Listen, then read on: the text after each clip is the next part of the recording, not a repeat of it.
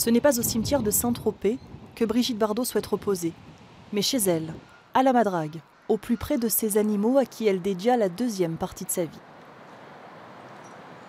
Bah, je trouve que c'est un cas exceptionnel que l'on peut accepter parce que Brigitte Bardot est quelqu'un d'unique au monde, qui a toujours respecté tout le monde et qui veut vivre dans son havre de paix, qui pour moi est aujourd'hui un des rares, une rare parcelle qui est restée de terre tropézienne. Depuis qu'elle l'a achetée il y a plus de 50 ans, eh bien, il y a toujours sa petite maison, là, elle n'a pas fait un palais, avec son petit jardin, euh, sa petite plage. Rien n'a changé depuis 50 ans et c'est ça, Saint-Tropez.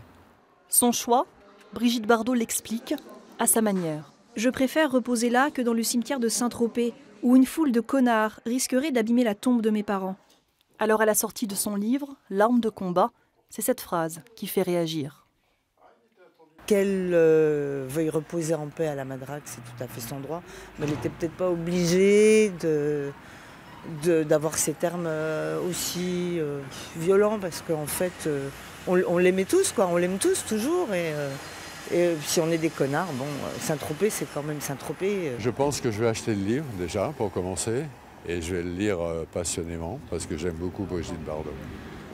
À 83 ans, Bébé livre un texte testament qu'elle n'a pas souhaité commenter en interview. De sa vie, celle qui fut la plus belle femme au monde veut que l'on retienne sa révolte, son combat pour la reconnaissance d'une humanité animale. Je vous aime.